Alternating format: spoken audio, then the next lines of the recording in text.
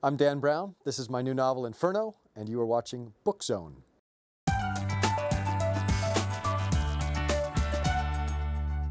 Dan Brown, thank you very much indeed for joining me. Tell us a little bit about Inferno. Uh, well, Dante's Inferno is obviously an epic poem written in the late 1300s. Uh, this book, this novel, is inspired uh, by Dante's Inferno in that it is a journey uh, that Langdon takes, the hero Robert Langdon, through what some may consider the rings of hell. Uh, he has quite a journey uh, battling a villain who is a Dante fanatic and, uh, and a bit of a futurist. And uh, I don't want to ruin any of the surprises, but he's on quite a chase through, through Florence and some other locations. I think I can say that a scientist tries to wipe out millions of people. Is there a serious message here about overpopulation? Uh, certainly. In the last 85 years, the population on planet Earth has tripled, tripled in one lifetime. We're adding more than 200,000 new people every day all of the problems that we consider environmental, whether it's you know, starvation or, or deforestation, no clean water, these are all symptoms of overpopulation. And futurists really consider overpopulation the, the big issue. You don't often do public events. Why this time? You know, I'm very, I'm very excited about this book. I want to share my enthusiasm with the fans. And also a chance to speak at Freemasons Hall uh, is an honor. So I, I, said yes. Why are you here today? Uh, to see Dan Brown, of course see what his new book is all about. I think he's a brilliant author, really. I mean, he's so captivating. I read all his books and want to find out more. What message would you like to give to your fans? That I just hope that they enjoy this book, that I've worked very, very hard on it. I hope that they have, have fun and become inspired, maybe to rediscover or discover for the first time Dante's Divine Comedy and all the great artwork that Dante inspired.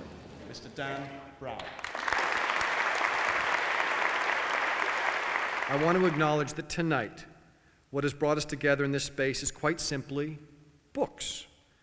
Those magical artifacts that share ideas across borders, across cultures, across languages, and most importantly, across time. You do claim that all of your books are based on fact. Tell us, though, what is the fact and what is the fiction in this book? The documents, the locations, uh, these are all real things. I want people to know that when this fictional character or any of the fictional characters enter a church, that church really exists. When they look at a, at a parchment, that parchment is real. Um, of course, you know, whatever ideas they may draw, you know, those are their own.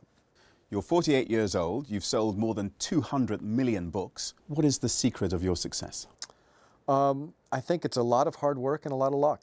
On the very first page of my novel, you will find a famous Dante inspired quote, which reads the darkest places in hell are reserved for those who maintain their neutrality in times of moral crisis. Critics have given Inferno a harsh time. People often say that they're great page turners, but they're not going to win any kind of literary prizes.